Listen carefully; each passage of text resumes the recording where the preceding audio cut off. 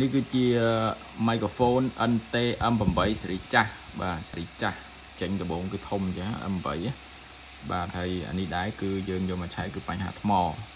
ឡូវគឺយើងបានធ្វើការដោះដូរថ្មរួចហើយបាទ microphone ក៏យើងមានថ្មដូរដែរបាទមានថ្មដូរដូចគ្នាដូចគ្នាដែរគ្រាន់ថាមិនសូវបានថតឬក៏ពេលខ្លះបងប្អូនបញ្ញាប់ក៏យើងអត់ហ៊ានទទួលអីវ៉ាន់មួយចំនួនអញ្ចឹងទៅ បាទ microphone គឺយើងដូរថ្មដូចអីដូចគ្នា បាទនេះគឺ FM receiver របស់ NT M8 ហើយយើងបានដូរថ្មរួចរាល់នេះដាក់ថ្ម M ឲ្យទៀតនេះដាក់ថ្ម SIN របស់ក្រុមហ៊ុន Sia Cameron Sino បាទចឹងឥឡូវរួចរាល់ហើយយើងបើកតិចមើលបើកមកចេញអត់អត់ចេញខ្មាស់គេឡើបួច